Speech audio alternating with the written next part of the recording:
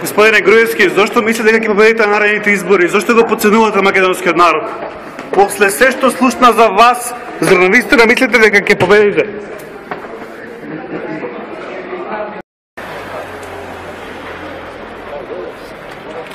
И со стариот Мерцедес.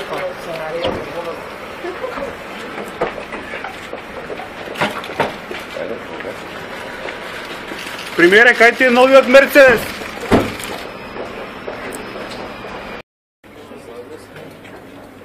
Не. Туку Артан Грубе иде да ги собира. Ајде ученици. Ајде у клас. Ајде у клас. Учителица вас зове. Да сега. А, Вика професор.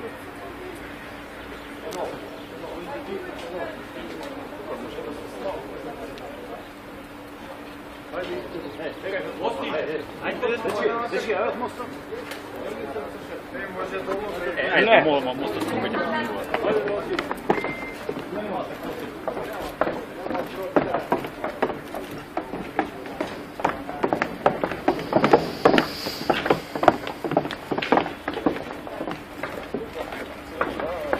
Премиере, кај ви е новиот Мерцедес? Со стариот дојдовте.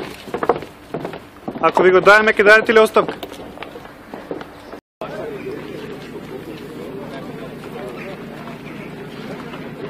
Премиере, гробиштата бута се многу близко. Ќе одите ли да им се заблагодарите на мртвите што гласале за вас? Слушнавме на снимките дека и, и, и мртви гласале за вас на последните избори. Иванов, се- Иванов се заблагодари на гласачите од Пустец. Рете сега и вие да се заблагодарите и на мртвите. Наистина не е фер кај луѓето гласа еле да не бл- да добијат благодарност. Со кое лице може да се појавите во шутка ако го слушнавме дека ромите биле носени за уши и за врат да гласаат? Со кое лице може да се појавите тука без да им се извините за тие работи?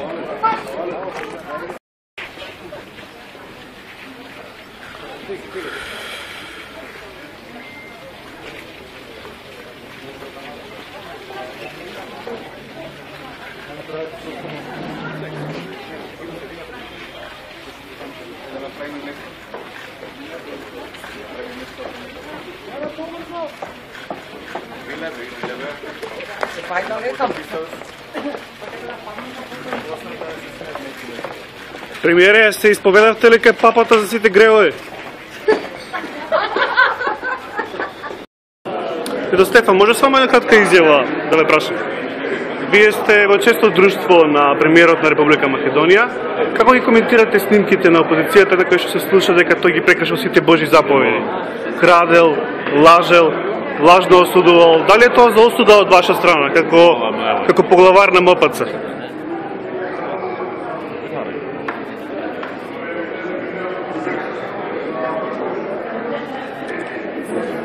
Премиере, коментар за Мерцедесот од 600.000 евра? Вчера искоментирате со сообщение. Беше спомената некаква рамка за понатамошни диалог евентуално. Што подразбира тоа од ваша страна? Не би сакал да прejudicирам во тој правец. Во понеделник ќе се сретнеме и ќе разговараме како и да мисија. Премиере, после сите досегашни бомби, после сите се, досегашни снимки, вие убедливо останувате премиер и не си давате оставка. Дали вие го знаете значењето на зборот срам, достоинство и морал? После сите овие работи на кои што нормален политичар во нормална земја не може ни да ги помисли, не па да ги направи. Народот одлучува кој ќе биде премиер и кој ќе биде на власт, а кој во опозиција. Дали имате да кажете? Премиере, после партиската зграда и владината зграда, дали наредите реновирање на затворот и Дризо како ваша идна дестинација, премиере? Колку милиони потрошите за вашата удобност? Почитувани слушатели на Мактал, сакам да ве информирам дека не ми е дозволен пристап во Македонскиот народен театар, каде што премиерот држи пресконференција. Овој бодигард кој што го гледате тука на оваа страна на улицата, цело време стои до мене и не ми дозволува да влезе во моната, стои на 1 метар од мене. Ме третира како да сум некој голем криминалец. Ете така, премиерот им наредува на своите бодигари да се однесуваат кон новинарите што, што поставуваат ненаначални прашања. Тоа е тоа. Значи новинарите што поставуваат ненарачани прашања, незгодни прашања, мора да се не само што да не се пуштаат во во државните институции каде што премиерот има пресконференција, туку се оддалечуваат на 50 на метри од влезовите за да не му постават прашање со довикнување. Ете тоа е тоа. Ова е Македонија 2015 бетер од Северна Кореја.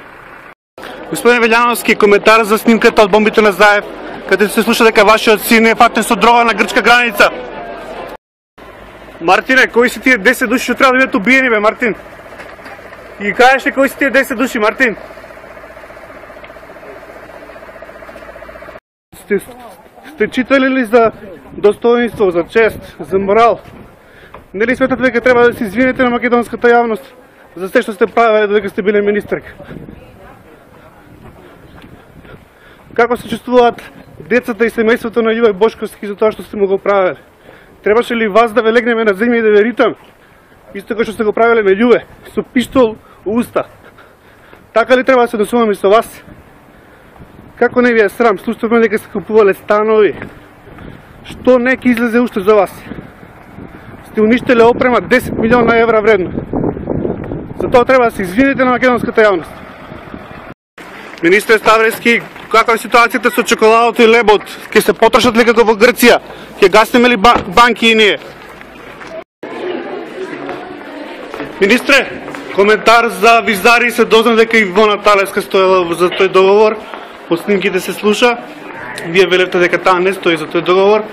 Дали ќе се извинете на македонската јавност бидејќи излегува дека сте лажали на македонската јавност, бидејќи се слушна? Вистината. се слушна од снимките дека таа стои за тој договор, дека чекала милион евра да илегат на сметка. И дали не мислите дека е жално што премиерот се вози во Мерцедес од 600.000 евра, а деца чекаат на donaciji.mk да бидат оперирани. Нивниот живот зависи од, е, од, тоа дали ќе им се даде пари. Бидејќи давате пари за палми, да, давате пари за да Мерцедеси, да, повераш. Така. Прво, во Македонија, сите оние кои што имаат потреба од лекување го добиваат во Република Македонија. А сите оние кои што имаат потреба за лекување во странство, тоа го добиваат на товар на буџетот на Република Македонија. А зашто тогаш на, на зашто тогаш на, донации има 30? Поздрав. Зашто го- зашто министри на донација.мк 30 деца чекаат пари и молат за помош? Како тоа го објаснувате? Па еве одете на донација.мк има над 30 деца и луѓе што чекаат пари.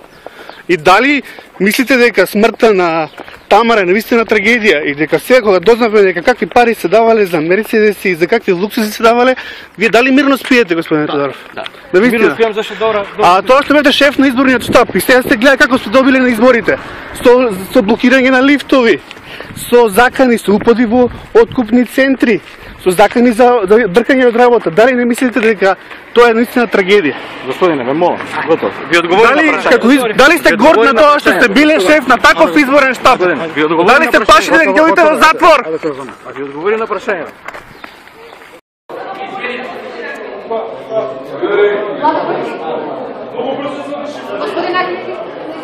Господин Ахмети, коментар за бомбите. Се слуша дека има коруптивно таму влијание, илегални граби место да се бутат.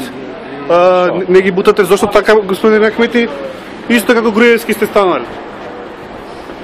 Како се господин се стае. Добар, ти како си? Како Како во бомбите има многу навреди на ваша страна, дали сте навредени? Во бомбите има навреди на Мојте ваша од тебе страна. кој може да се навреди? Ајде, чао.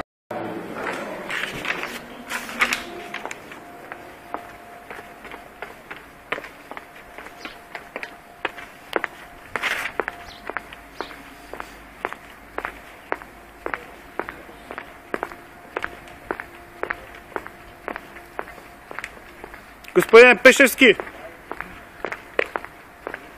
се срамите ли што учествувате во ваква криминална влада?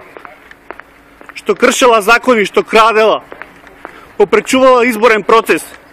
Вие самите сте барале автомобилите во Куманово да се патат на технички преглед. Како не ви е срам?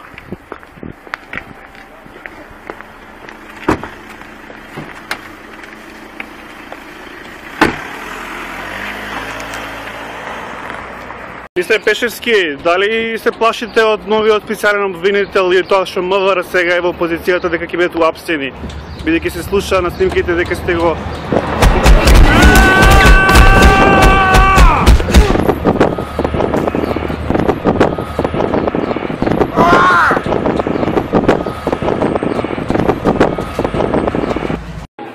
Господја Бришковска, коментар за тоа што сте главна звезда на снимките?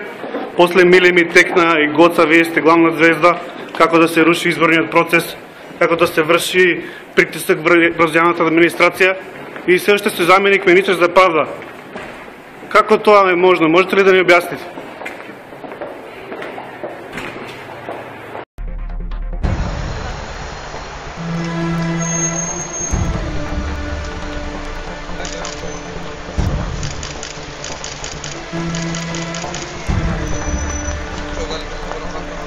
Началниче, до која сума стигна салото на фамилијата? До милиарда евра стигнавте ли? Уште ли ги уредувате весите на ситиле на Гама 5? Господин Мјалков, дали се чувствувате виновно? Кога ќе направите милиарда, ќе се откажете ли сами од власт? Доста ли е тоа? Само од жутите се земале 20 милиона. Началниче,